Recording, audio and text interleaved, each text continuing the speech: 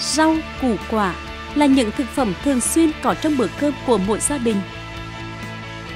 Nhóm sản phẩm sạch an toàn được sản xuất theo tiêu chuẩn Việt Gáp và được chứng nhận ô cốp 3 sao đến từ Hợp tác xã Nông nghiệp Sinh thái Dụng Na sẽ được giới thiệu trong chương trình Điểm hẹn ô cốp vào lúc 10 giờ thứ Bảy ngày 19 tháng 8 trên sóng QBTV và tương tác trên các nền tảng số, fanpage và YouTube truyền hình Quảng Bình.